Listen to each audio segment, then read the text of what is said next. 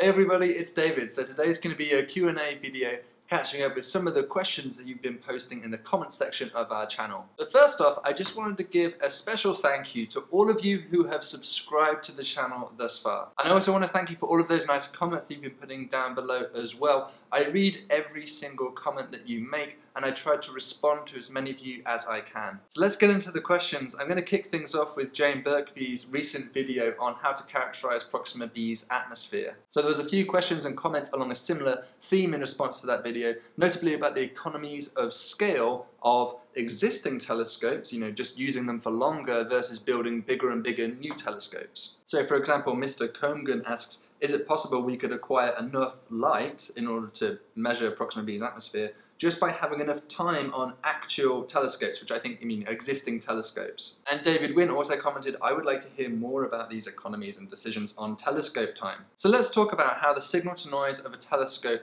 scales as a function of how long we observe for versus just building a bigger and bigger telescope. What we really care about at the simplest level is really just the number of photons that we have collected of this star. So one really obvious way to do that is just to observe the star for longer. Indeed, if I stare at a star twice as long, I will collect twice as many photons. So the scaling of number of photons as a function of time is linear. In contrast, if I double the size of a telescope, which really means the diameter of the telescope, I'm actually not going to collect twice as many photons, I'm going to collect four times as many photons. That's because the area of a circle increases as the radius squared. So you might remember that from school. Area of a circle is pi r squared. So this is kind of why astronomers like to build big telescopes. Now on top of that, remember that time itself is a precious commodity, right? I mean, there are only so many clear nights that we can observe the sky. There are only so many days in our lives, in our careers, for which we can actually do these observations. Finally, it's much easier for us to analyze the data if all of the observations came from a single time window, a single episode.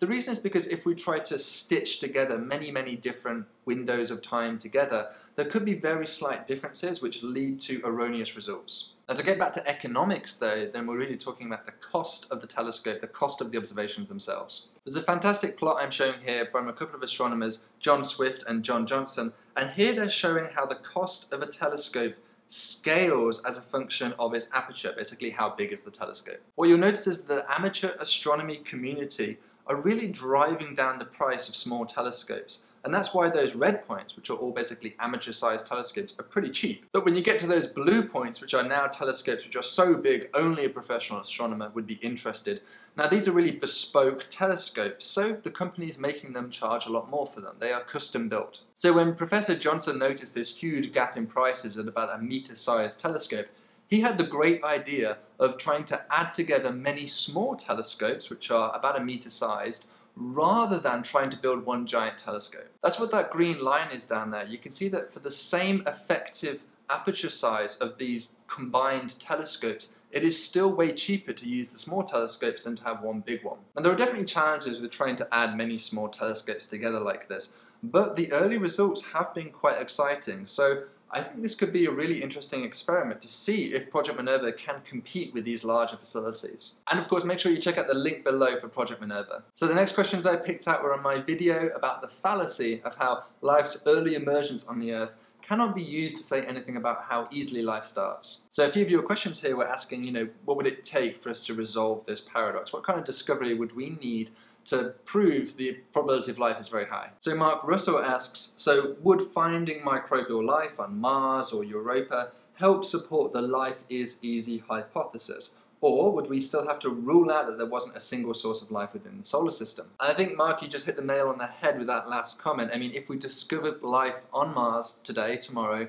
how could we prove that it wasn't just life from Earth, which, say, hitched a ride on an asteroid landed on Mars and took root there. That idea is called panspermia. It could work either from the Earth to Mars or even in reverse from Mars to the Earth. I mean, we also can't prove that we're not all Martians, for example. We do know that the Earth and Mars certainly exchange material, for example, we have found many Martian meteorites which have arrived here on the Earth. And we also know that certain forms of life on the Earth are extremely hardy and could possibly survive hitching a ride on a meteorite from the Earth to the Mars. One example might be the tardigrade, which has been exposed to the vacuum of space on the International Space Station and survived. Perhaps the only way to tell if this was genuinely an independent start to life would be to do some genetic analysis and see if it was a common ancestor to us. But this kind of leads into a question that, well, this alien life form might not even have genes as we know them. It might not be DNA or RNA based. Indeed, this alien life form might be so exotic and different to us that we might not even recognize it as being a life form. This kind of leads into a question that was asked by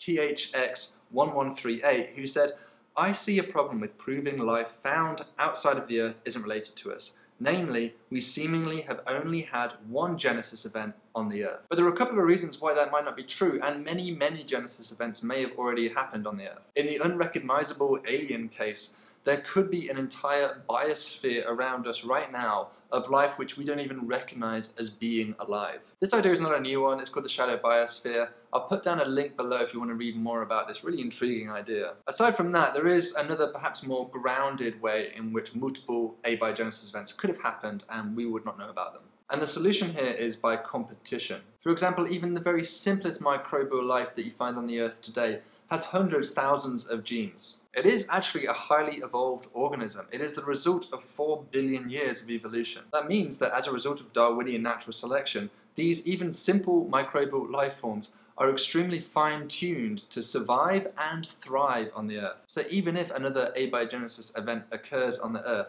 this new life form is going to be completely outcompeted and possibly even eaten by the existing life forms. As disturbing a thought as this is, it's kind of like taking my two-year-old toddler and asking her to compete in the NFL Super Bowl alongside with all of these professional athletes with years of professional training behind them. I mean, to be honest, there's no way she's going to be able to compete with them. So on that unsettling note, Thank you so much for all of your questions, which I've hopefully responded to some of you here. Let me know if you like these Q&A videos or if you have any other questions which have arisen as a result of this Q&A down below in the comments. You can expect a new Cool Worlds video coming your way next week about a new paper that we just had accepted, which is, well, just to give you a tease, it's on the connection between artificial neural networks and exoplanets. So until next time, thank you so much for watching this video and stay curious.